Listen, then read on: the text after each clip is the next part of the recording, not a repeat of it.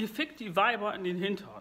Ihr selber findet das geil, wenn ihr in den Hintern gefickt werdet, die Weiber nicht. Das mag sein, dass es auch eine Beleidigung ist. Ein Weib hat eine Fotze.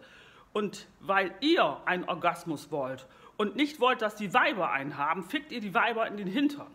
Es geht euch nur um euren Orgasmus. Es geht euch nicht darum, ein Weib glücklich zu machen. Es geht euch darum, dass ihr euch selbst befriedigt.